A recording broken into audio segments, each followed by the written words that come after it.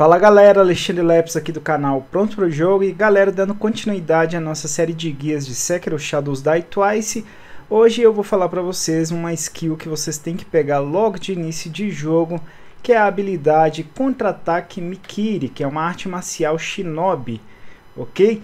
Então a gente vai falar um pouco sobre ela, mostrar na prática porque ela é importantíssima de ser utilizada durante o game e o próprio tutorial do jogo que você faz lá com o monge logo ao lado da casa do escultor não é muito claro, porque quando você vai testar na prática acaba não conseguindo fazer, beleza? Então espero que vocês gostem aí do vídeo. Vamos aí aos detalhes. Um ótimo lugar para treinar aí o contra-ataque Mikiri é saindo do saguão principal da propriedade Hirata pela direita, onde você vai cair no poço que te trouxe até aqui, ok? Então caindo no poço, saindo da caverna, você passa correndo pelos inimigos, passa pela esquerda e vai descendo que lá embaixo você vai encontrar dois lanceiros, né? Tente enfrentar um por vez e vá treinando a técnica do contra-ataque Mikiri. Basicamente, você tem que tentar entender quando o lanceiro vai te dar um ataque de estocada, que é aquele ataque frontal mesmo. Quando ele fizer isso, basicamente o que você tem que fazer é apertar o analógico da esquerda para frente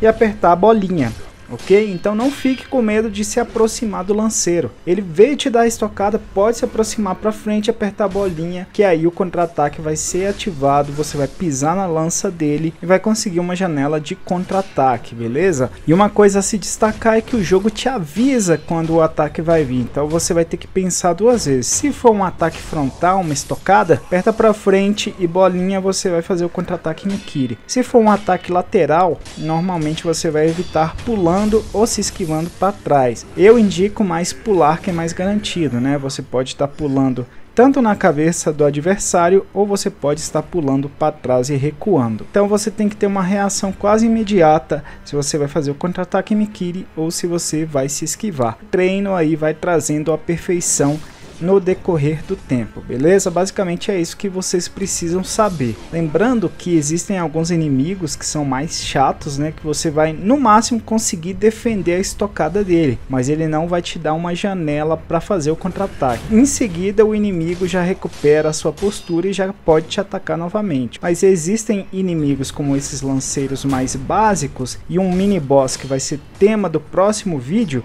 que você pode utilizar de forma perfeita contra ataque Mikiri. Isso ajuda muito na quebra da postura deles, ok? Lembrando que esse ataque também funciona contra inimigos que usam espadas, né? Então se você está enfrentando ali um samurai que dá muitos ataques frontais, muitas estocadas, você pode ir lá utilizar o contra-ataque Mikiri e você vai conseguir contra-atacá-lo, ok? Acho que essas são as principais informações, espero que vocês tenham gostado do vídeo, se gostou não esquece aquela voadora de dois pés no like que ajuda demais o canal. Para mais guias de Sekiro Shadows Die Twice, se inscreva no canal, se você já é inscrito dá um confere no sininho das notificações para receber a notificação de novos vídeos e lives.